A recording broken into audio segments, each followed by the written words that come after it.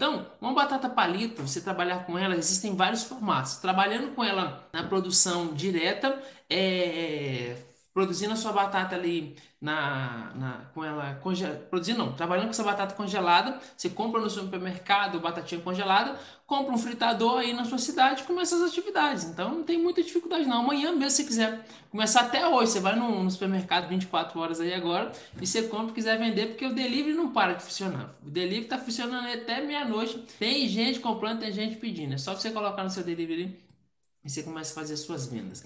Então você pode trabalhar com a batata congelada também para poder começar.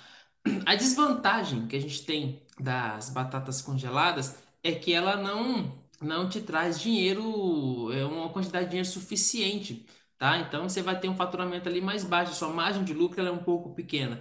Então isso é um pouco ruim, porque você está começando um negócio, quer fazer uma grana massa e com trabalhando com com a batata congelada, sua margem de lucro ela é bem menor. Isso pode afetar aí na sua, no seu negócio, né? Afetar na sua lucratividade. Mas, se você trabalha essa batata na produção com ela em natura, sua margem é maior. Dentre tudo, o que, que você precisa ter clareza aqui? É que a batata palito hoje você consegue começar imediatamente. Independente se é congelada ou, ou batata in natura, você consegue um picador de batatas, um cortador de batatas em qualquer lugar da sua cidade.